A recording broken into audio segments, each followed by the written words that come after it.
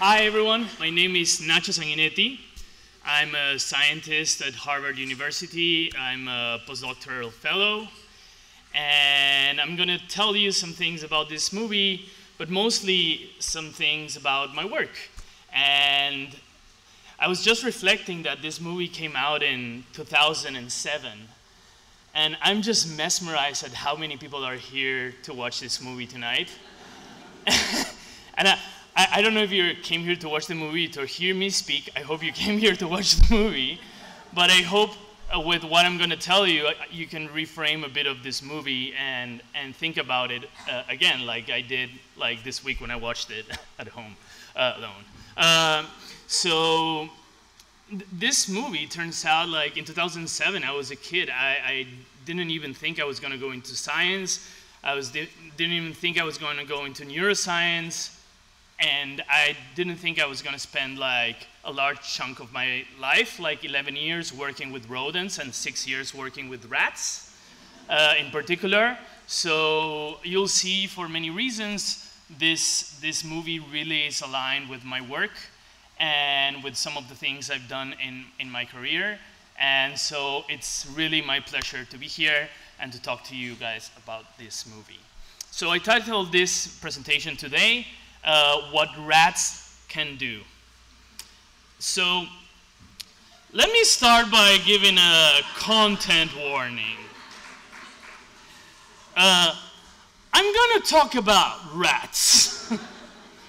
Are you all okay with that? Wow. Okay. I'm going to talk about rats and diseases. So, like, if anybody needs to stand up now, you can stand up and I can give you a heads up once the cartoons start. Uh, but yeah, I'm to talk about rats. And this sometimes is a triggering topic for a lot of people. A lot of people hate rats for some reasons that we're still trying to figure out, and that the New York Times calls me like once a year. We hate rats more than squirrels, and that's a thing. Uh, and we need to know why. Uh, but um, it, it, it really is a, a story of our hatred to rats that, that is like very evident. When we look at this, we go, rats, yuck. And let me just start by saying that uh, humans, yuck. Uh, like rats are just following us everywhere and they're eating our garbage because we dispose of our garbage in a wrong way because we waste too much food we could because we put our waste outside. And and so they have followed us for like really uh, millennia and and are here to stay and are here with us. But um, it, it's been like a really long evolving story that we've had with the hatred to rats. And it becomes very evident when you think about the, the Black Death, uh, the second plague of the bacteria called Yersinia pestis, that is a bacteria that is carried in the fleas, and that uh, we blamed for many, many centuries rats for being the carrier or the, of this fleas that killed, devastated a lot of the population of Europe. Uh, and this was in the 1300s. And it turns out, like a few years uh, recently, like some papers have claimed that it was probably Mongolian gerbils that brought the fleas in the first place, and then the rats like were as much as a victim as the humans. Uh, but uh, but it, it, it, doesn't stop there. It, it, goes even further back in time. Uh, I don't know if you've heard about the story of the Pied Piper.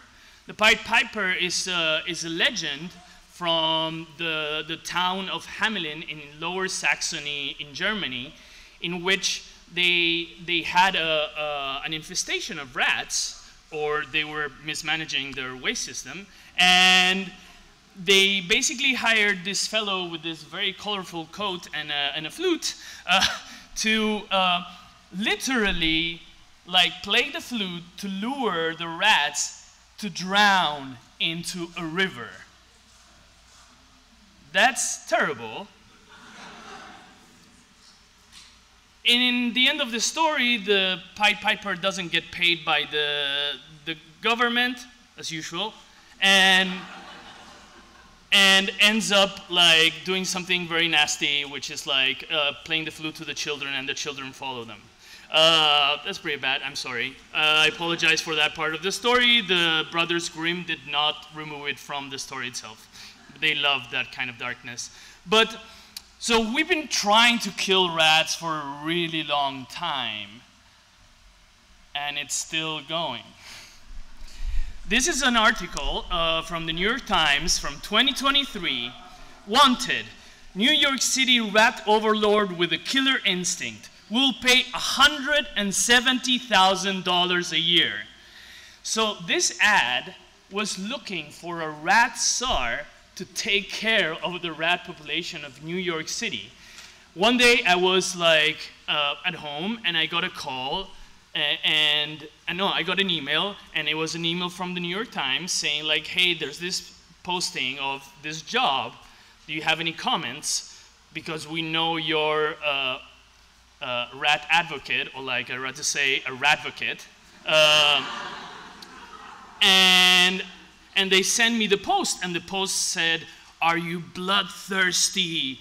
Uh, do you have a killer instinct for? And I was like, I, I, I answered, like, Is this a prank that the New York Times is making to me right now? Or do you really want to comment? And it was like, and that, that ended up being like the quote that is right there in the New York Times. Uh, Professor fellow who has studied rat behavior, he asked the Times was pranking him. No way this is real, he said via email. It is. Uh, and this is true, true story. It's printed. Uh, and that's exactly what I wrote in my email. So we've been trying to kill uh, rats, and I, I, I, I think we should try to manage rats for a very long time. So what I'm going to tell you now is why we shouldn't try to kill rats and why rats are very interesting and very, and very amazing. Uh, so first of all, let me tell you about this movie and why that, what I'm going to tell you connects to this movie. Ratatouille, if you haven't seen it, who hasn't seen Ratatouille before? Okay. That's quite, that's quite a few, okay? So Ratatouille is about making bonds and challenging assumptions, and that's not a spoiler, it's in the poster, okay? So that is what this movie is about, and that is what my work has been about. So rats are not only cute and can be like incredibly cute pets and loving animals, but they also do something that connects us with us, with humans, and with many other animals, which is to play. So rats play. So let me show you how rats play. So let's start with this video. What you will see here is a couple of friends of mine tickling a rat at first, and you will hear some sounds that are ultrasonic and that are the vocalizations or the laughters that the rat is producing while being tickled. And then you'll see the rat chasing the human's hand and also two rats playing together. So let me just show you.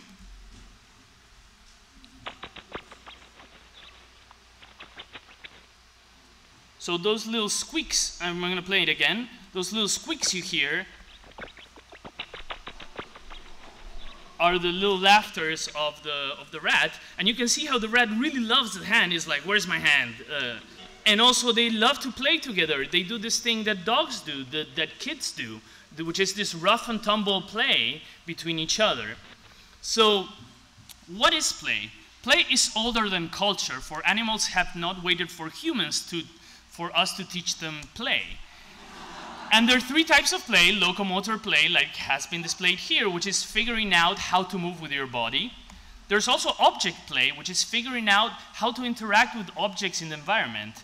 And finally, there's social play, which is how to interact with other animals. And this is something that transcends species. We can play with a cat, a cat can play with a dog, a dog can play with a rat, a lemur can play with a deer. Uh, and, and they both learn how to interact with each other. The lemur learns that he could grab the horns of the deer, and the deer learns he could headbutt the, the lemur into the air, and we all learn.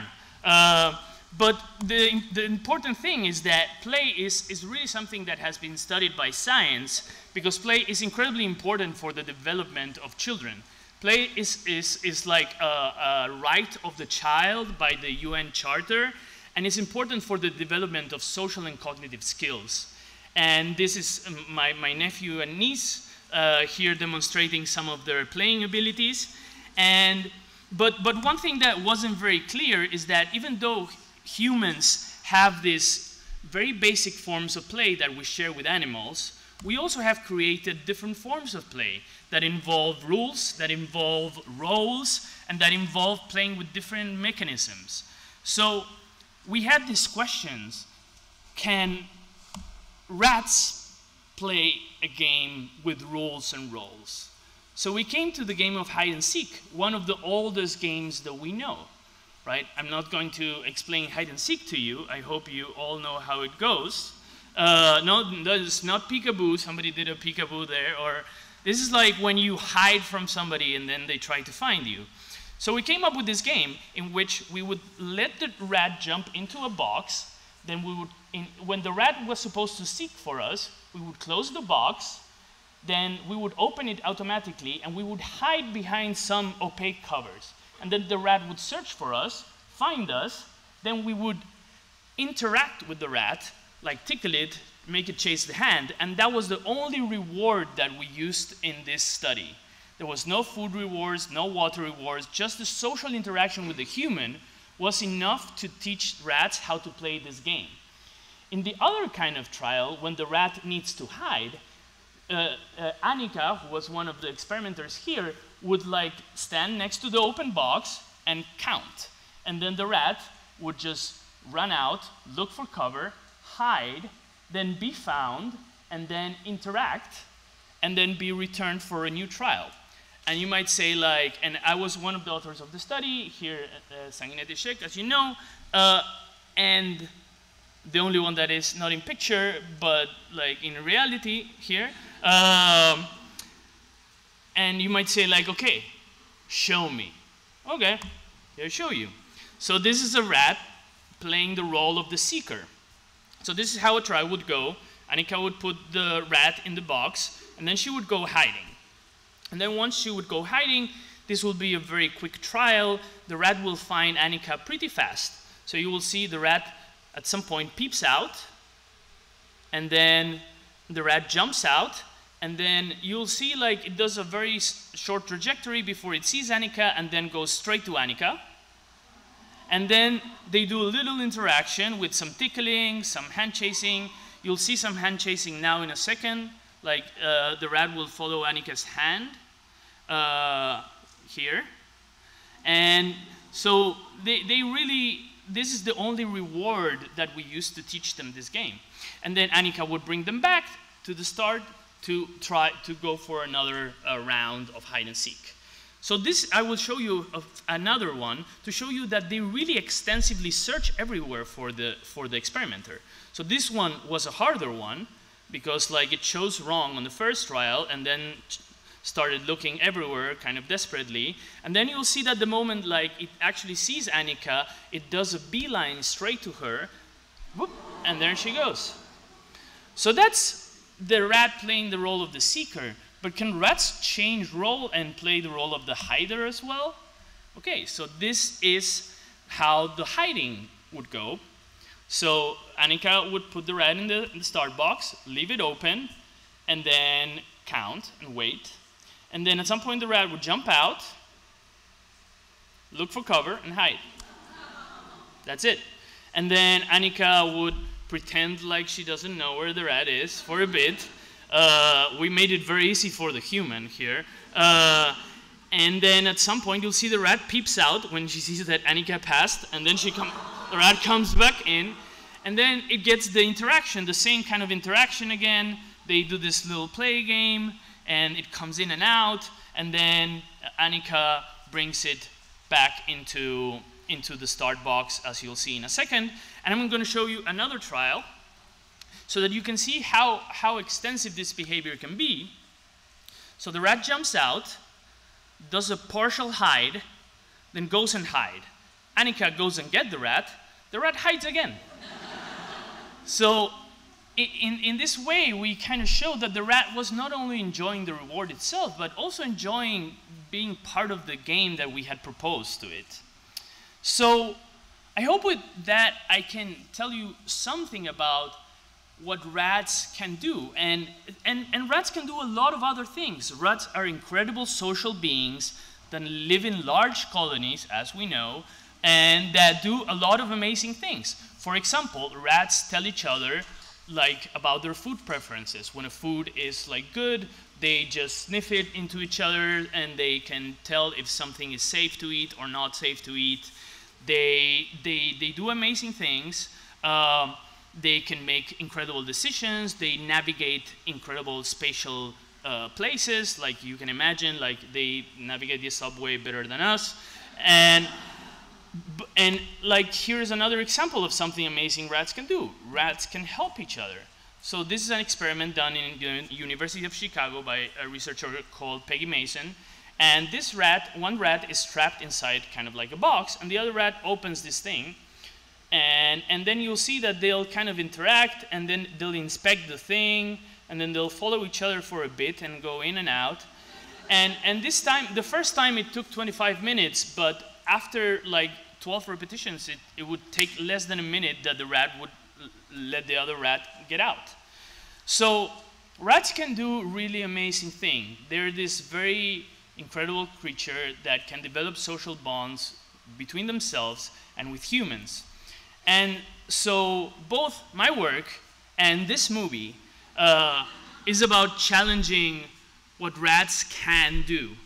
And, and challenging most of all how we think about somebody, how we think about an animal, about what are the things that they're capable of. And so this kind of work is essential to understanding like our social bonds and their social bonds. And with that, enjoy the movie.